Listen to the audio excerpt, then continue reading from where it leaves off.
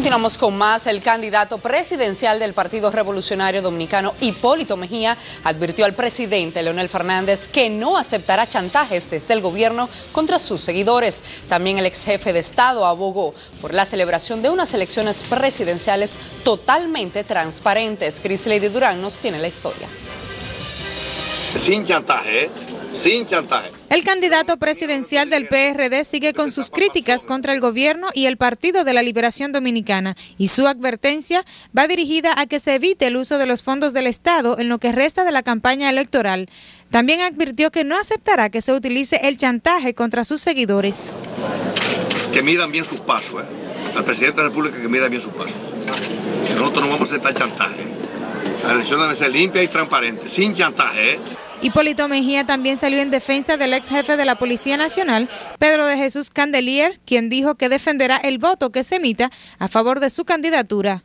Eh, Candelier sabe lo que está pasando. Pienso yo, ¿eh? Yo fui presidente de la República. Se entiende que yo sé lo que está pasando. Yo sé lo que están pensando algunas autoridades militares y policiales. Estoy al tanto de todo, ¿eh? Al tanto de todo.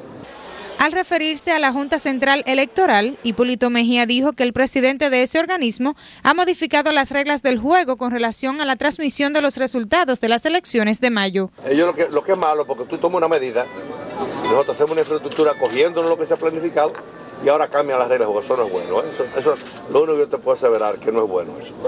También rechazó que su pasada administración gubernamental fuera una pesadilla para el pueblo dominicano, como dijera la esposa de Miguel Vargas Maldonado, Angelita García, tras recordar que durante su gestión su esposo fue ministro de Obras Públicas.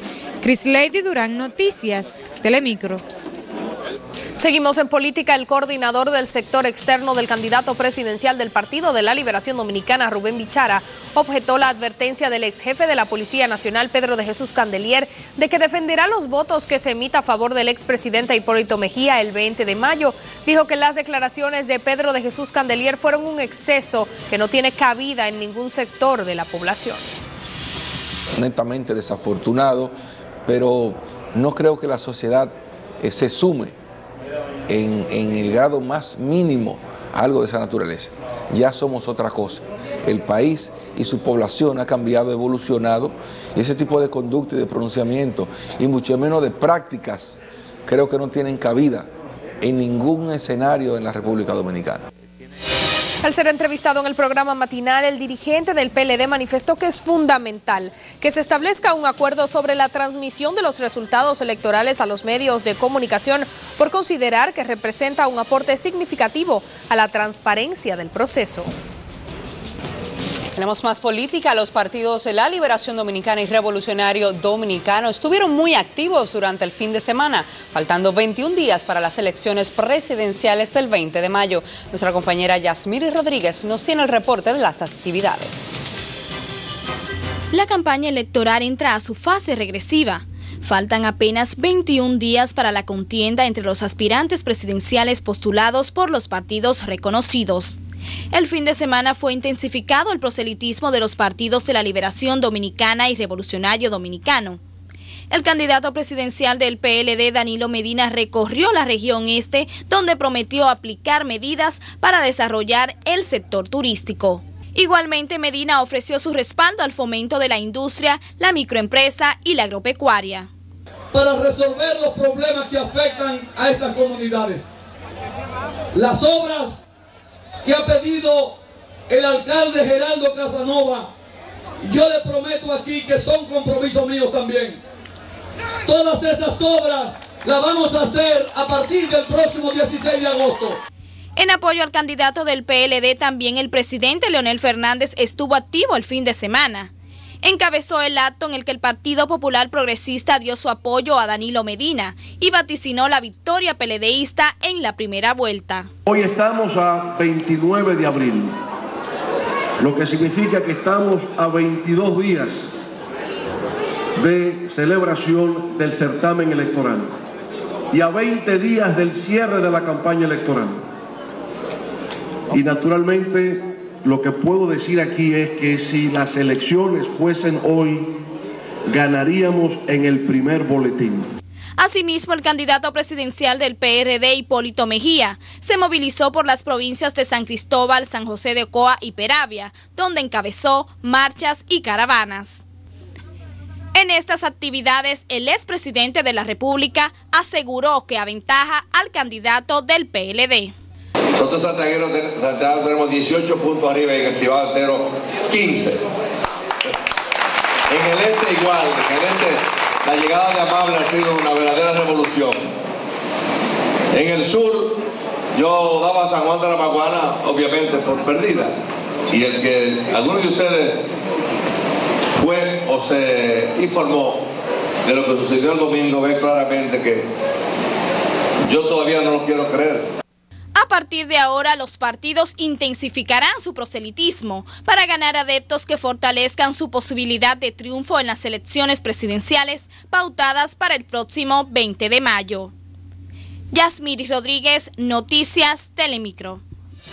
Seguimos en campaña y es que el rector de la Universidad Nacional Evangélica y el ex rector de la Universidad Autónoma de Santo Domingo llamaron a los candidatos presidenciales a bajar el tono de discurso en esta campaña electoral. Leighton Mejía con los detalles.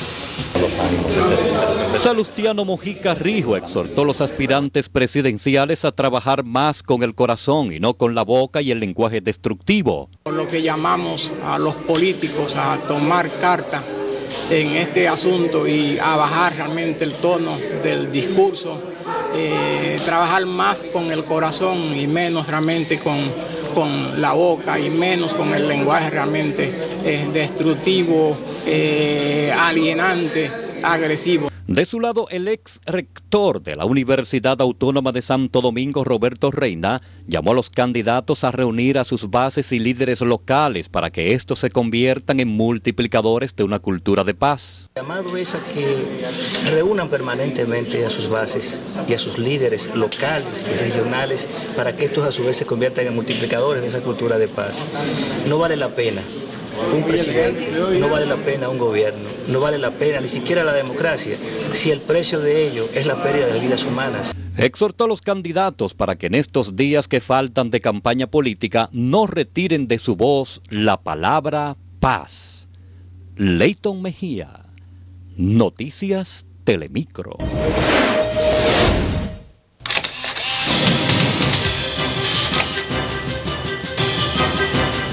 Iniciamos este lunes con la mira de Noticias Telemicro puesta en el residencial Sol de Luz en Santo Domingo Norte. Estos piden al ministro de Obras Públicas Víctor Díaz Rúa los incluye en el proyecto de asfaltado que se realiza en el municipio.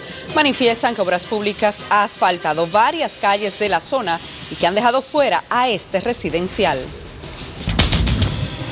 usted quiere que Noticias Telemicro coloque en la mira su sector, puede hacerlo llamando a los teléfonos 809-686-8059 y al 809-689-0555 las extensiones 6006 y 6016.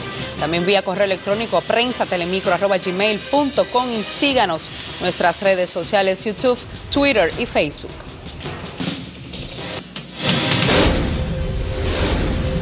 Vamos a la pausa cuando regresemos más violencia contra la mujer. Hoy sepultaron otra víctima, las desgarradoras imágenes. Cuando retornemos.